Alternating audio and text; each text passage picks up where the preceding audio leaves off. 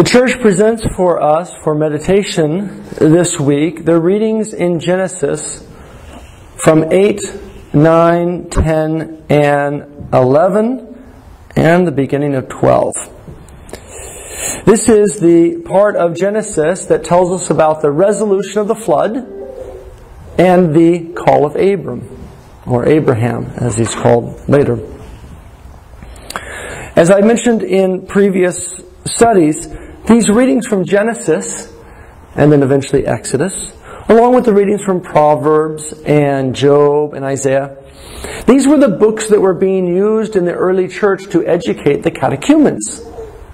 This Lenten process in which we find ourselves now halfway through was a process of, of meditation, preparation, discernment in uh, in approach in the uh, for in preparation for the coming baptism of the catechumens 40 days later. Now, if I were to suggest to you to prepare some catechumens for baptism, where might you start? I think today many Christians would probably not begin in Genesis and Exodus, Proverbs, Job, Isaiah, but the early church thought differently than we modern Christians often do.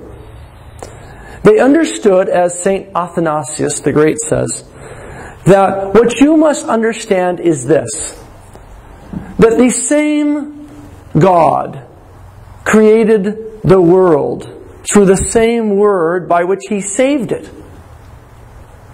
St. Athanasius says there is no difference between salvation and creation. For God saved the world by the same word by which he created it in the beginning. This is, of course, is John's point in his prologue. He begins to tell us the story of Jesus, beginning with, In the beginning was the Word, and the Word was with God, and the Word was God, and through Him all things were created. You remember in Genesis, God says, Let this be, and it comes to be, right? He creates by His Word the Word becomes flesh and dwells among us, so that man, so that the creation that was created at the first through the Word of God may be recreated or saved, restored to what it once was through the same Word. And so the church has us meditate this week in a very important passage at least the beginning of this, with the resolution of the flood. We talked last week of how the flood is a prefigurement for baptism. I read for you last week from 1 Peter chapter 3 where Peter says that the flood corresponds to baptism.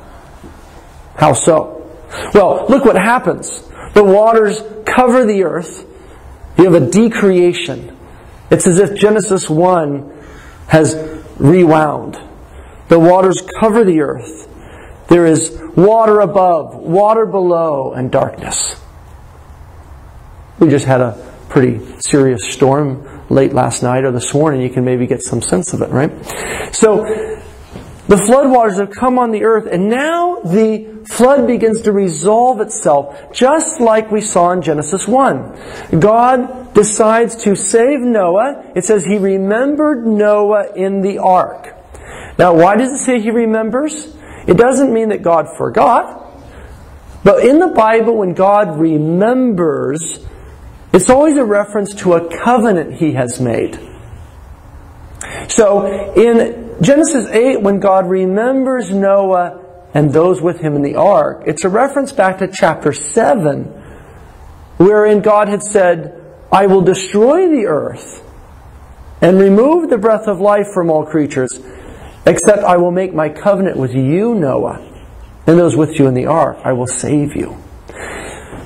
When God binds himself to man, when God joins himself in a relationship, we call that covenant, man is restored to life. God is the source of life. And so when God makes a covenant with man, man is restored in the Old Testament, at least to some degree, however minor, to the life he once had in the garden. This process climaxes, of course, with the covenant in Jesus Christ, or the covenant who is Jesus Christ. Jesus is the new covenant. He is that relationship, as St. Paul says in 1 Timothy, the God man, right? He is the one mediator between God and man. He in himself. So that those who are baptized into Christ are joined to the Father. We become, as St. Peter says in his second epistle, chapter 1, verse 4, partakers of the divine nature. The flood is resolved by God sending His Spirit, the wind. In the English translations, you have wind coming and parting the waters of the flood. But in the Hebrew text, in the Greek text, in the Aramaic, and in the Latin, all of these, following the Hebrew, tell us that this is the Spirit.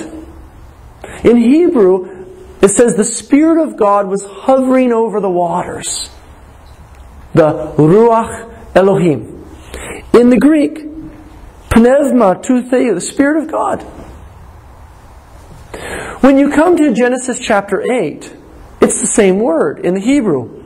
God sent a wind, our English translations say. That's fine, except that it, you might not see the connection. The Hebrew text says ruach, which can be translated wind, but also spirit.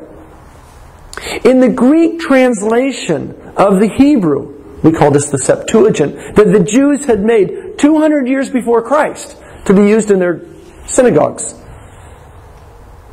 They translate in both of these places the word ruach with the Greek word pneuma, or pneuma, as you might hear it said.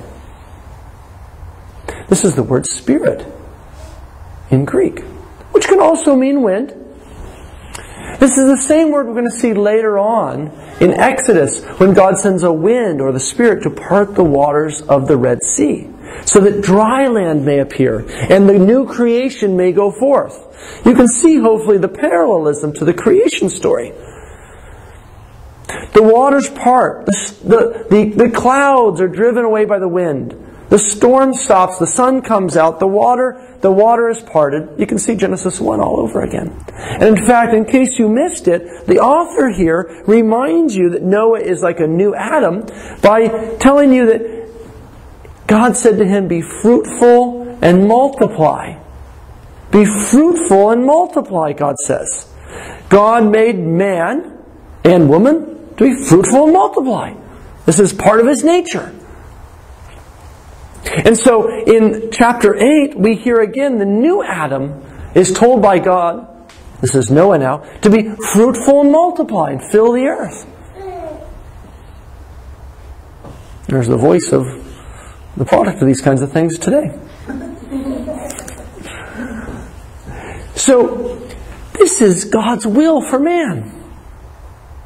Life we participate in God's gift of life, He allows us to be a tool, an instrument through which life continues to spread throughout the earth.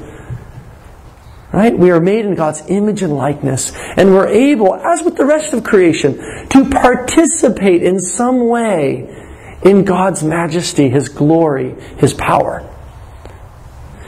Even the animals have the power to procreate. Right? God says to them to be fruitful and multiply. As St. Augustine says, the impression of the Trinity is on all of creation.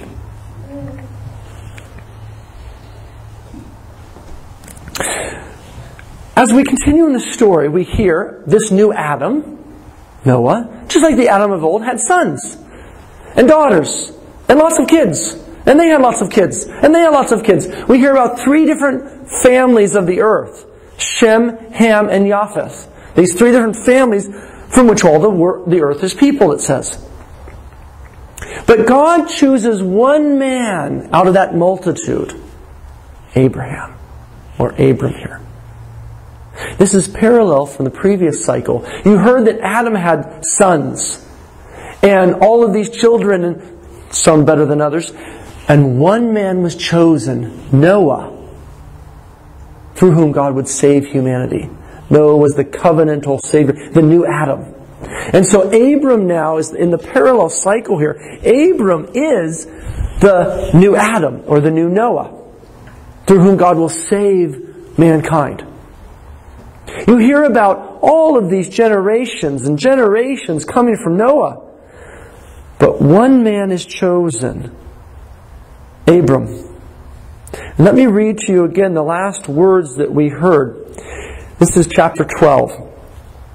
Now the Lord said to Abram, Go forth from your country and your kindred and your father's house to the land that I will show you. And I will make of you a great nation, and I will bless you, and I will make your name great, so that you will be a blessing. I will bless those who bless you, and him who curses you I will curse, and by you all the families of the earth shall be blessed.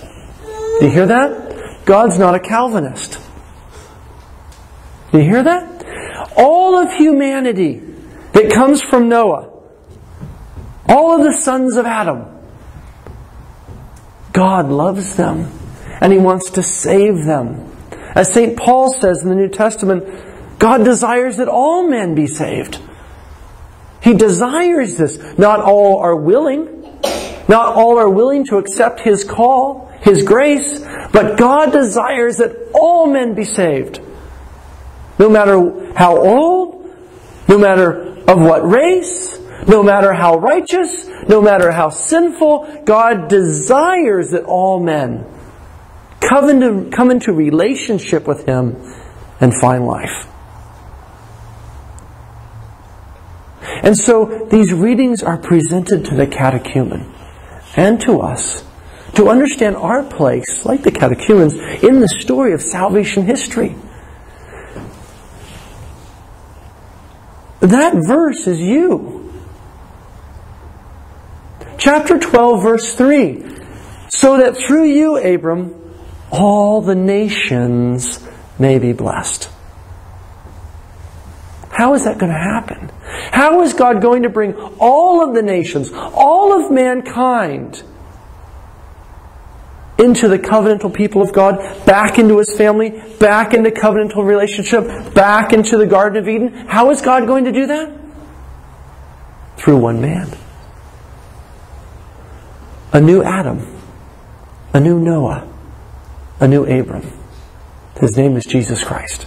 And this is why Matthew's Gospel begins with the words, the book of the genealogy of Jesus the Christ son of David, son of Abraham. Very good. Son of David, the Christ, these titles, we'll talk about them another time, but I want to focus in on those words. Son of Abraham.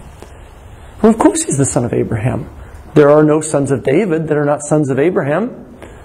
In fact, all of those who have the title Christ in the Bible obviously are sons of Abraham. They must be the descendancy of David. All descendants of David are the sons of Abraham because all descendants of David are the tribe of Judah. And all members of the tribe of Judah are of the people of Israel who are descendants of Isaac, who are descendants of Abraham. Why does Matthew tell us this? To remind us of this text right here, which was one of the most important texts for the early church. When you look at the New Testament, you find an inordinate focus on a number of texts in the Old Testament. About five of them.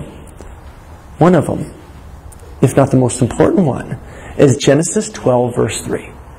Through you, through your seed, Abram, all the nations shall be blessed.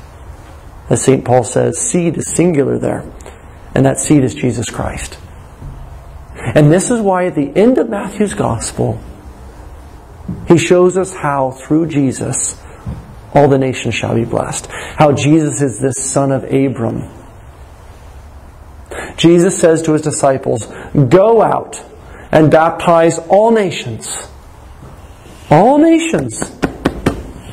In the name of the Father, and of the Son, and of the Holy Spirit, teaching them all that I have taught you. And behold, I am with you I am with you.